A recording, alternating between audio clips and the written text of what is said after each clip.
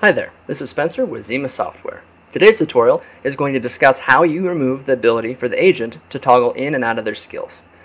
A good use case for this is if I want my agent to be ready, all I can do is toggle on and off of Do Not Disturb.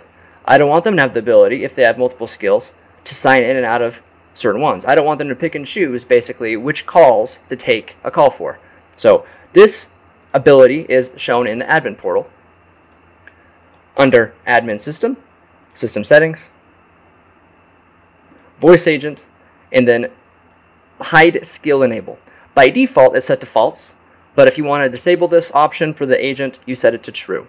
That's how it's done. So set it to true, and then click Save, and you're good to go. Now, any agent that signs in to Contact Center Agent Client will not have the ability to sign in and out of their skills, and that'll exclusively be able to be handled by the supervisor themselves via Supervisor View.